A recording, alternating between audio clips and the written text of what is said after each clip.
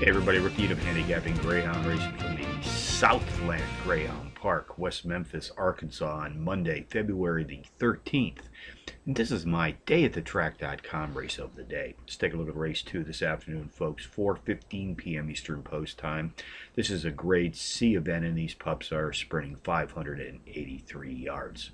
Using a software product called QuickDog, I've isolated a power pup to put on top of my multiple entry contenders. Listen on this entry. This afternoon, number two, Whiskey Slinger.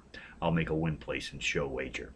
Also like to play the boxed exotics here at Southland, so along with number two today, I'll be boxing number eight, CBJ the King, number four, Mega Quasar, and number seven, Abby Clancy. That's 2847 in the second at Southland.